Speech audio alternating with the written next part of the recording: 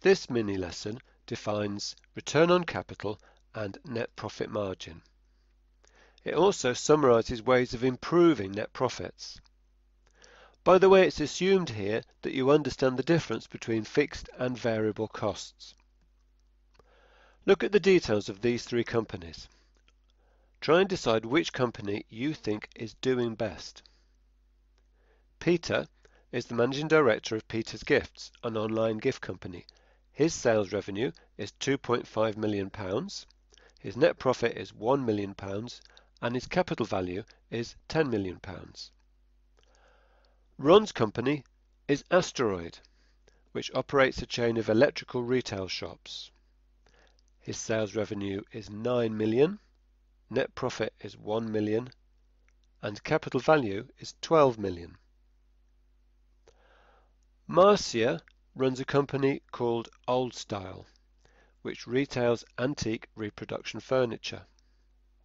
Her sales revenue is 4 million pounds, her net profit is 1 million, and her capital value is 15 million. Here are some pointers to think about.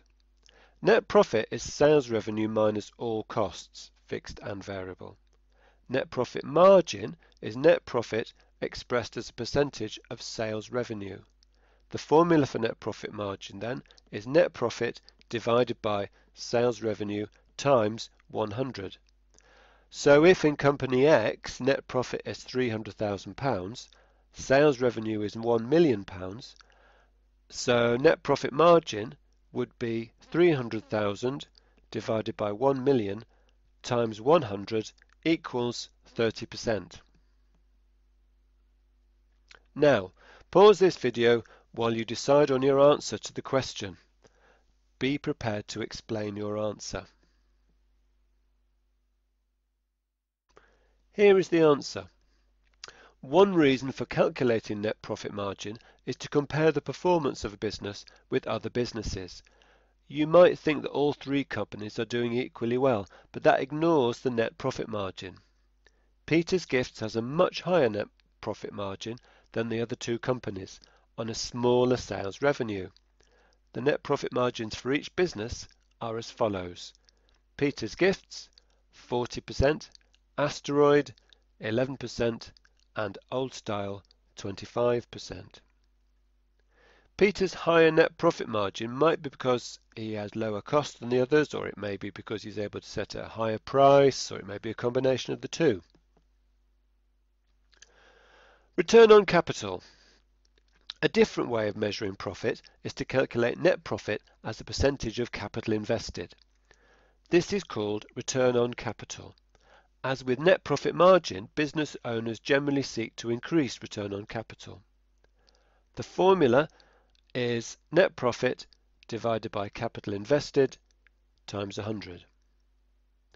To illustrate return on capital, look again at the figures for Peter's Gifts. Remember net profit was a million pounds and capital is 10 million pounds. So using the formula we can see that return on capital is 1 million divided by 10 million times 100 equals 10%. The money tied up in fixed assets is capital invested. When you're working out return on capital, do not muddle up fixed costs with fixed assets. Fixed costs, along with variable costs, are running costs, those involved in actual trading.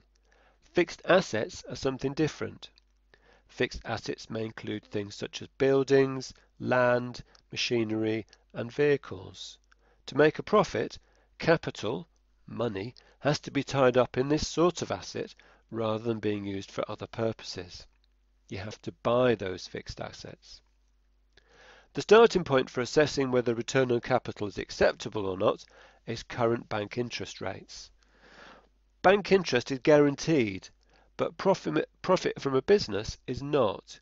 So business owners will normally be looking for return on capital well above interest rates. To put it another way, just making a profit is not good enough. Businesses need to make a profit that represents an acceptable return. The more risk there is, the more investors will generally want a good return. Risk here refers to the likelihood that a business will not succeed. Business is competitive after all. Your new product may generate very good levels of profit, or consumers may prefer a product from a rival manufacturer, meaning your product is a complete loss-making flop. How can profits be increased? There are four ways in which a firm can increase its profits. 1. Increase sales without reducing net profit margin. Sales can be increased by improving existing products, launching new products, or more effective promotion, for instance. 2. Increase net profit margin by reducing variable cost per unit. Be careful here. If your variable costs are reduced by simply using cheaper materials or components, this could reduce the quality of a product and its reputation. On the other hand, it may be possible to re reduce variable labour costs without affecting quality. One way of doing this is by increasing the level of automation used in production. 3. Increase net profit margin by reducing fixed costs. Fixed costs can be reduced by selling online instead of through physical shops. This could involve reducing fixed costs such as rent or management costs. 4. Increase net profit margin by increasing price. The less competition there is for a business, the more opportunity there is to increase price but there is usually a danger that customers switch to other firms or products if you put your prices up. To sum up, net profit margin is net profit expressed as a percentage of sales revenue. One reason for calculating net profit margin is to compare the performance of a business with other businesses. Businesses need to make a profit that represents an acceptable return on capital. Return on capital is net profit as a percentage of capital invested.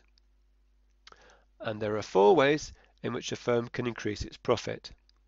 Increase sales without reduce, reducing net profit margin, by reducing variable costs, by reducing fixed costs, or by increasing price. Now have a go at these questions. Question 1. Calculate the return on capital for Asteroid and Old Style. See the figures above. Question 2. James runs a business that manufactures mountain bikes. He employs 100 people. His sales turnover last year was 10 million pounds. His net profit last year was 10,000 pounds. His capital invested is 8 million pounds. Discuss whether this is a successful business and how its profitability might be improved. To find out more, visit learnloads.com.